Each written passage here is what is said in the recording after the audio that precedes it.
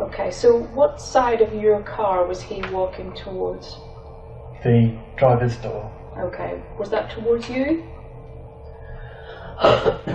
towards where you were yeah, sitting? t- towards me, and Okay, and whenever he's walking towards you and you're sitting on the driver's seat, what happened then? um, You said that, that you said that you stood up and you mentioned about a knife. yeah, um, that's uh, that that's stood up with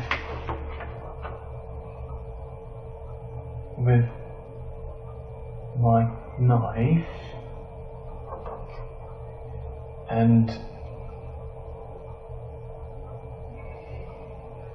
that's when I attacked him. Okay.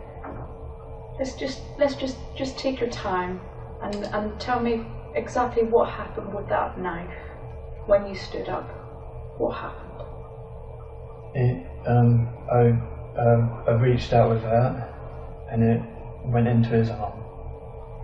And then I reached out with it again, and it went into his body.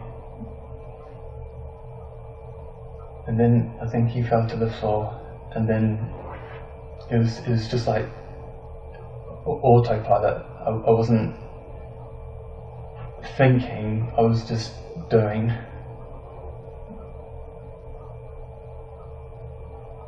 Doing? uh, stabbed him. Um, a few, a few, quite a few times.